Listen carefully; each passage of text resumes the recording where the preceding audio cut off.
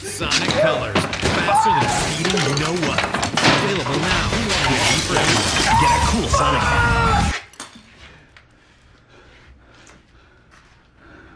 What are you doing here?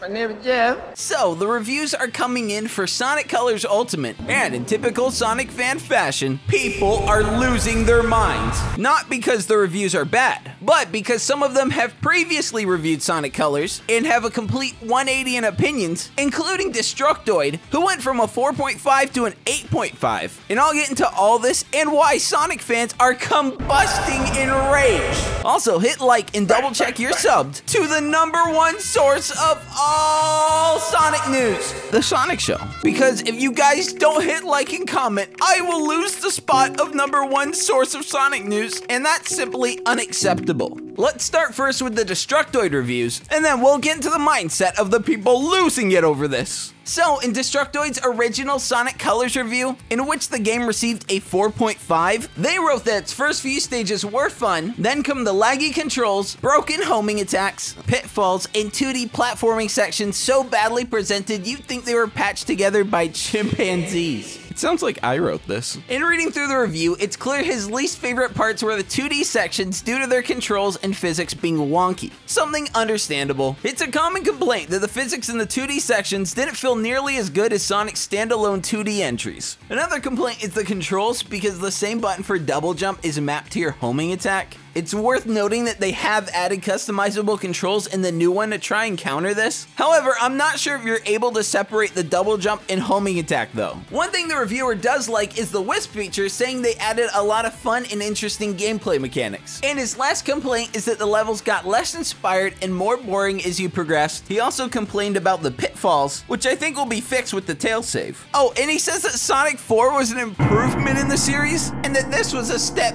back? Excuse me? me? Have you played Sonic 4? Not awful, but not better than this. Okay, so now let's get to the new Sonic Colors Ultimate review. They gave this one an 8.5, which is 4 points higher than before. So the first thing that they enjoyed was the Wisp mechanic, just like the other reviewer. They enjoyed the replayability with the multiple paths, which does sound fun. They thought the levels were gorgeous and loved them all except Asteroid Coaster, and when we thought the game looked bad, that's the level they kept showing off, so I find this funny. They enjoyed the challenge of the levels a lot, but were less impressed with the bosses in the game, many being reused. The reviewer wishes the bosses were reworked from the ground up, and as someone who always enjoys new experiences and finding new ways to tackle bosses, I would agree with them. However, here's where they start to crack. It was going all good, but they suggested Unleash Remaster, which I've made a video on here, and also a Black Knight Remaster, which regardless of how you feel about that game, if we get Black Knight before Adventure, Sonic is canceled.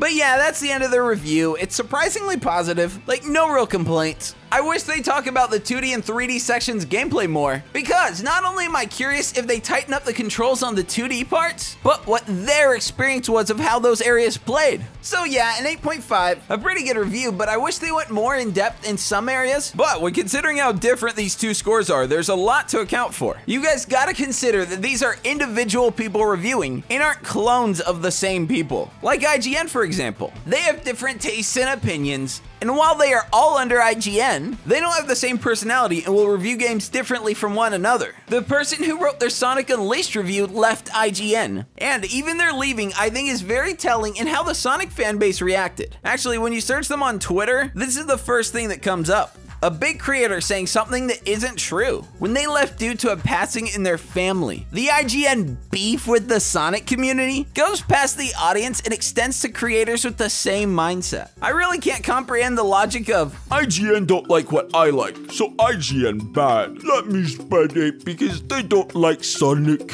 These are just game reviews. People get so mad over them, but it's just a random individual's opinion on a game. There's piles of reviews that you're going to agree with and piles you you just won't. A well-written review explains why they thought these things of each game, so you can understand their reason of how they feel. But I can guarantee you almost everyone saying these things doesn't even read these reviews, and they just jump to the score at the bottom to see whether to make a Twitter thread or not. This feels like in 2017, whenever Anthony Fantano would say he didn't like a popular album and everyone would lose their mind. Because of there being one disagreement, they begin to question how closely their tastes truly align with the reviewer. But really, none of that matters. When a new Lil Uzi Vert project drops and I'm shaking in excitement, I know Fantano isn't really going to care since he's not much of a fan and will likely review it poorly. This actually makes him a better reviewer, because if you know the reviewer's taste, when Fantano says Uzi's new project is an absolute banger, that must mean it's really something special. Now, the difference between him and a review conglomerate like Destructoid or IGN is obviously that he's an individual, so it's impossible not to lump everyone's opinion together in a conglomerate.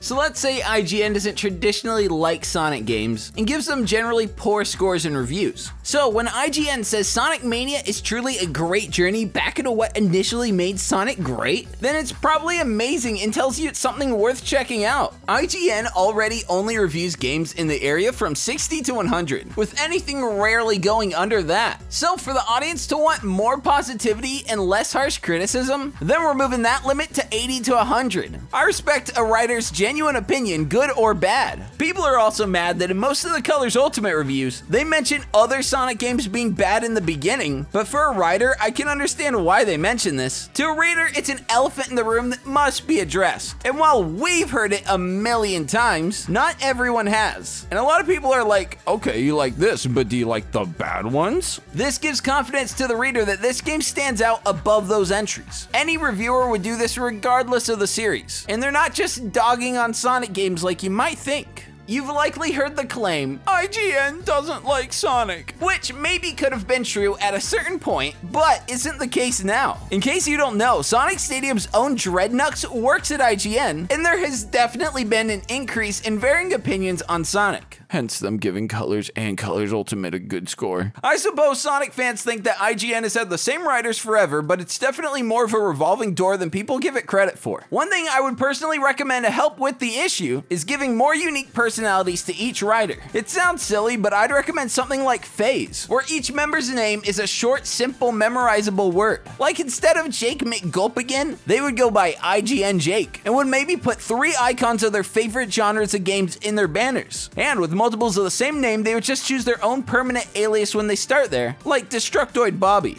I don't know, free suggestion. So is IGN bad and hate Sonic?